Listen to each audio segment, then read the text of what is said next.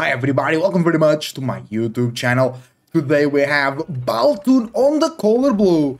It's the Chinese playing against Mr. Blade, playing in the color purple as Ottomans. And this is match number one out of a best of three, which is for the open qualifiers of the Kings, the King of the North LAN open qualifier.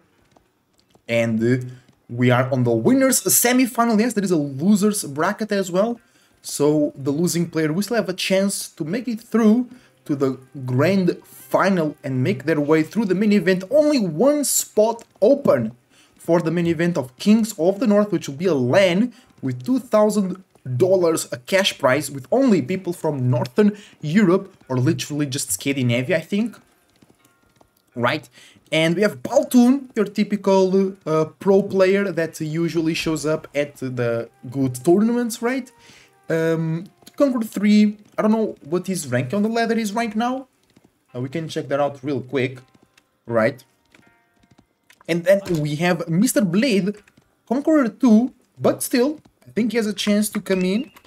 He's not uh, weak, not so ever, right? He's doing pretty well making his way to the semi-finals of the Open qualifiers. Baltune, uh, rank number 15 on...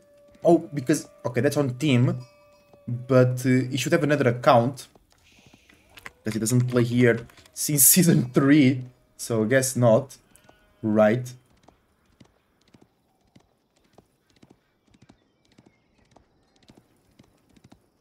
So welcome very much to the channel guys, like and subscribe if you enjoy the content, use the links down below to find me live on Twitch as well, right?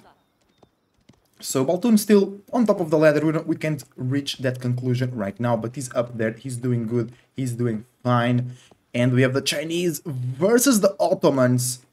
Very good, interesting matchup on Hill and Dale, a good old Hill and Dale, Hill and Jail, because sometimes you can get stuck in the your own base if you're or you can make your opponent get stuck in their base if you apply pressure. Sometimes people drop walls on the enemy they heal and then it's hard for them to break out. And chinese versus ottomans always an interesting matchup always with some with full of full of action right? Ottomans want to apply pressure early on. Nobody wants to let chinese go into the late game and be a menace but Ottomans can actually fight since like feudal age, early feudal age. They can get those free units, cheaper buildings, faster production, so they can make a good feudal army and challenge the Chinese. But the Chinese have a lot of answers to being harassed. Barbican of the Sun is one of them, right there on the front line, on the stone, on the gold. Then they can also, also, they can also, also, right, produce units faster with the supervision of the Imperial officials in their military buildings, and they can go always for that super scary Zhuge Nu rush. Mass Zhuge Nu can melt anything, even buildings, right? So, I heard somebody grabbing some more. Yeah, just one sheep for Baltune over there. He has a good amount of sheep on his base. Yeah, on Hillendale you always have deer in your base. Right, but sometimes they actually spawn forward, it's rare, but sometimes it happens, and then your enemy is attacking it, you cannot even use them. So usually they spawn in the back. Most times they spawn in the back. I kinda miss playing Hillendale, but sometimes it just gets too like boomy, right? Or like easy to contest the, um, the enemy. And then it's absolutely just keep wars in the middle of the map. Because we have a bunch of gold. Look at that, guys. In the middle of the map, only big golds. That's one, that's two, that's three, that's four, that's five, that's six, that's seven, that's eight big golds. That's eight versus, not eight versus, eight times eight. 8,000 times 8,000, that's what I mean. So 64,000 gold in the middle of the map, right? That's kind of ridiculous if you think about it. Okay, Imperial Academy, second TC will now being worked on. Mm, maybe you can't drop the mining camp here. This is, this is a weird angle, right? But still, you are under Barbican, so you chill. Mr. Blade is checking that. Alright.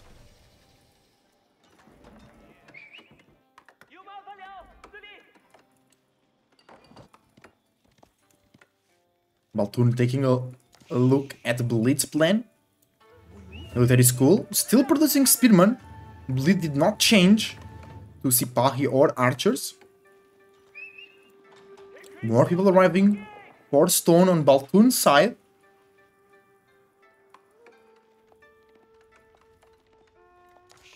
A blacksmith here for Blid to make sure he produces faster.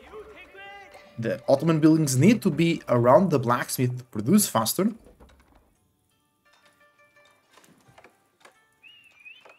I think so far just be straight into second TC from Baltune. No other military buildings in sight.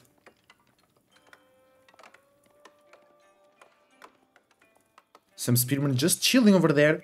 So nobody applying pressure, nobody doing anything different. Alright. Second TC should be close to the other TC. Maybe here. Then you can go for deer.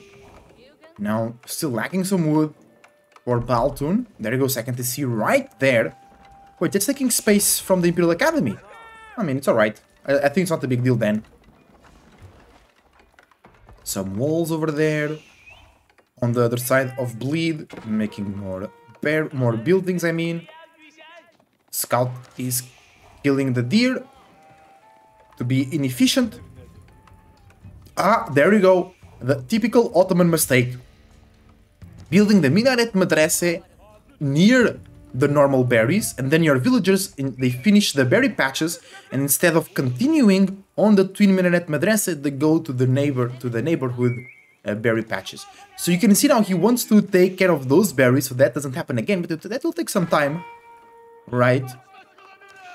Oh sipa no that's just a sipahi chasing, chasing around the enemy scout. Baltune walling in completely.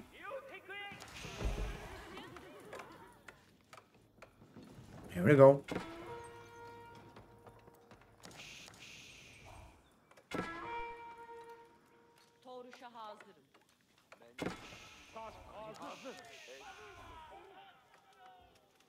Alright. Nothing really happening at the moment. Sipahi coming in. Sipahi, Spearman, Archer, and Mehter. You all ready to go through.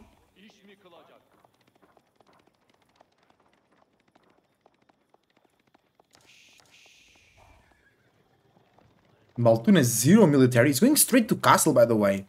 Oh, and then it will be Minute, uh, Palace Guard Rush. Right. And unless Mr. Blid has a huge amount of military, he cannot stop it. Yeah, we have the barracks there already. Right. Uh, that's going to be a stable as well. So maybe uh, some knights here and there. But the main focus should be Palace Guard Rush, right? Castle Age for Baltune, unbelievable. Meanwhile, Mr. Blid only has 27 units. He's making a ram too. Hmm, right. That would be tough now because... Oh, we have some knights coming in. That's kind of a mistake. Because Blid has a lot of speedmen already. Oh, but the knight just passes through. And they go straight to the base of Blid. Blid... I don't think he knows that. He's just focusing on making... Wait, where is the knight going? So they want to defend. Double ram. Okay. Yeah, now Palace Guards coming in, not supervised. And three Palace Guards will lose to this army, actually. Rams coming through, attacking the Barbican. It's two Rams. The Knights are uh, back to defend, picking up some of the reinforcements. Good play from Baltune. Barbican is going down. Baltune does not have enough units to defend here. He needs to supervise the barracks. He has a lot of resources. He could be pumping many uh, palace guards now. But he decides to build more barracks. Barbican going down. Knights came in to distract the units. Palace Guards attacking the Rams.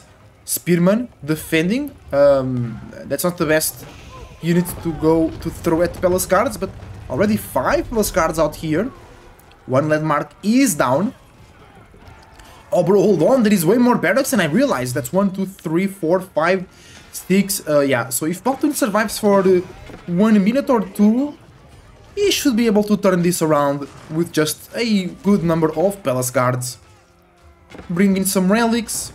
That one gets sniped. It's alright. Baltune with such a crazy amount of food. It was because he was on the deer, I suppose. Also because he has more villagers, a 30 villager lead. And now you have the Palace Guard, and now that's GG, guys. I've seen this movie a lot of times. Palace Guard just... Uh, they don't stop coming, they just kill everything in their way. And Mr. Blid has no way to stop it. Alright.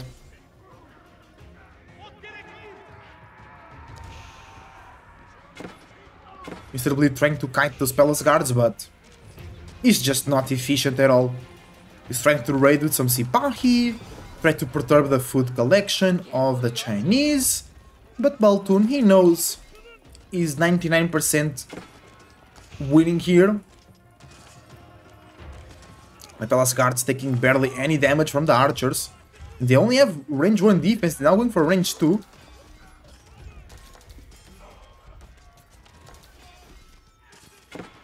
Okay, actually, actually, mm, Mr. Blid was able to kill those 5 men-at-arms, but... Bro, more... Oh no, that's too many. Too many men-at-arms, look at that. No! No, no, no, it's too much, brother. And GG gets called, yeah. Good old Chinese fast castle into, into Palace Guards Rush. It ain't anything you, ain't nothing new, but it's really hard to stop. Guys, thank you for watching. Leave a like and subscribe, follow me on Twitch, and let's go to game number 2.